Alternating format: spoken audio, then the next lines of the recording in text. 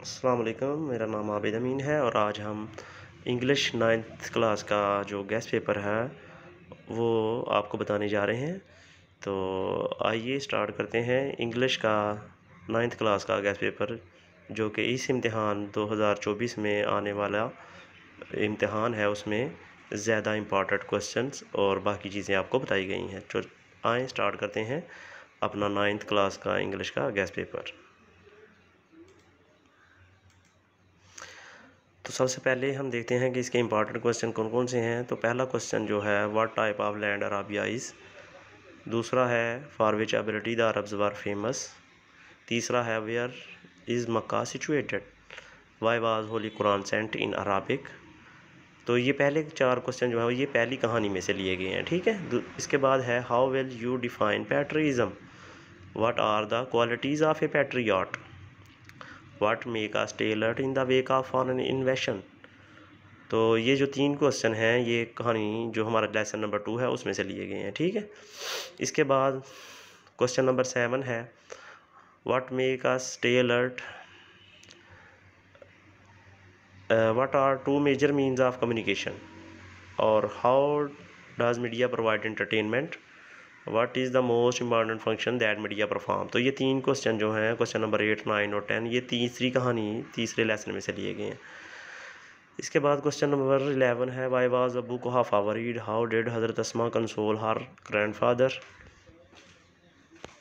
who was Hazrat Abdullah bin Zubair and what message you get from the life of Hazrat Asma तो ये वाले चार question जो हैं, ये हमारी लेसन नंबर फोर से लिए गए हैं ठीक है?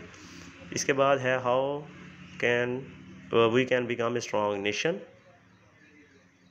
and how much confident did Quaid Azam had in his nation what was Quaid concept of our nation तो ये जो हैं अगले ये तीन क्वेश्चन हैं जो कि इससे अगले वाले लेसन से यानी कायद अजम वाले एक लेसन से लिए गए हैं ठीक है? इसके बाद है आ, हमारा who was appointed as the architect of the mosque ये ब्लू मस्जिद वाली कहानी से लिया गया है कंस्ट्रक्टेड मस्जिद सोफिया वाई सुल्तान अहमद मस्जिद इज़ कॉल्ड ब्लू मस्जिद तो ये वाले one two three and three question जो हैं ये नीली मस्जिद वाली कहानी से लिए गए हैं। इसके बाद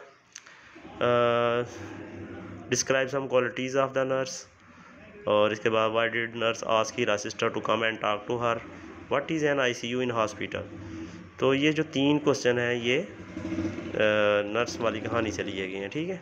इसके बाद है what are the effects of drug addiction what are the causes of drug addiction and what is the role of counselling in controlling drug addiction ये तीन क्वेश्चन जो हैं, ये ड्रग एडिक्शन वाली कहानी से लिए गए हैं, ठीक है? इसके बाद क्वेश्चन नंबर ट्वेल्व है how will you define noise pollution how is transport is cause of noise pollution तो ये दो क्वेश्चन जो हैं, ये नॉइस पोल्यूशन वाली कहानी से लिए गए हैं और ये जो आखिरी क्वेश्चन है, ये लास्ट वाली कहानी से लिया गया है हु वाज हेलन क्लियर और ये क्वेश्चन अक्सर पेपर में इस कहानी से यही आ रहा है बार बार रिपीट हो रहा है और ये अगर ओल्ड पेपर देखे जाएँ तो बहुत से ओल्ड पेपर्स में ये वाला क्वेश्चन आपको मिलेगा। तो ये तकरीबन ट्वेंटी नाइन क्वेश्चन बनते हैं।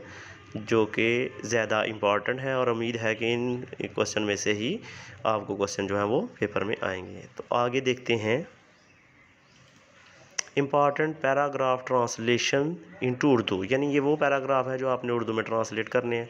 तो ये मैंने पैरा का ना स्टार्टिंग वर्ड लिए हुए हैं और ये साथ मैंने बताया हुआ है कि ये कौन सी कहानी में से लिए गए हैं। तो अगर आप देखें तो पहली कहानी में से तीन पैराग्राफ लिए गए हैं, ठीक है? इस तरह दूसरी कहानी के ये दो पैराग्राफ हैं। तीसरी कहानी के लेसन नंबर थ्री के ये थ्री पैराग्राफ लिए गए हैं, ठीक है? इसके बाद लेसन नंबर फोर के तकरीबन फोर पैराग्राफ हैं और इसके बाद लेसन से नंबर सिक्स है, इसके ये थ्री पैराग्राफ हैं, ठीक है? आगे चलते हैं। और ये एक मज़ीद पैराग्राफ लेसन नंबर सिक्स से लिया गया है। लेसन नंबर सेवन से one two three four paragraph लिए गए हैं, ठीक है? इसके बाद लेसन नंबर नाइन है, उसमें से भी one, two, three, four, five paragraph लिए गए हैं और ये अक्सर अवकात जो है इस कहानी में से एक पैरा ज़रूर आ रहा है, ठीक है? अगर आप ओल्ड पेपर देखें तो आप देखेंगे।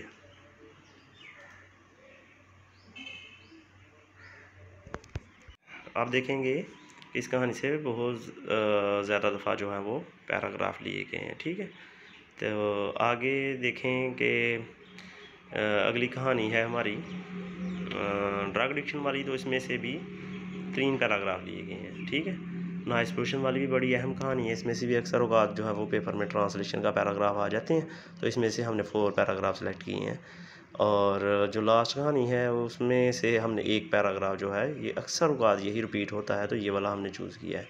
तो ये वो पैराग्राफ थे जो हम समझते हैं कि हमारे तजर्बे से कि ये ज़्यादा इंपॉर्टेंट है और इनके पेपर में आने के चांसेस बहुत ज़्यादा हैं। जो आए, आगे देखते हैं। कि इंपॉर्टेंट लेटर्स कौन कौन से हैं हमारे पास, ठीक है? तो इसमें से लेटर नंबर वन है letter number two three four five six पहले सिक्स लेटर्स ज़्यादा इंपॉर्टेंट हैं।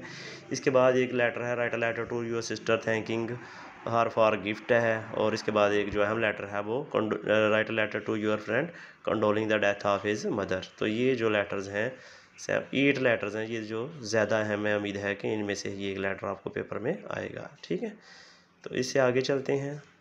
तो ये मोस्ट इंपॉर्टेंट कंप्रीहेंशन पैराग्राफ हैं, जो कि जिस, आपको एक पैरा आएगा जिसमें से आंसर ढूंढ कर आपने लिखने होते हैं। तो ये दो कैटेगरीज हैं इसकी सॉल्व्ड जिसके आंसर भी बुक पे दिए हैं, और अनसॉल्व जिस पे आंसर बुक पर नहीं दिए हुए। तो जो सॉल्व्ड पैरा पैसेज हैं, वो इंपॉर्टेंट जो है, वो पैरा पैसेज नंबर वन है थ्री है फोर है फाइव है सेवन है, और टेन है।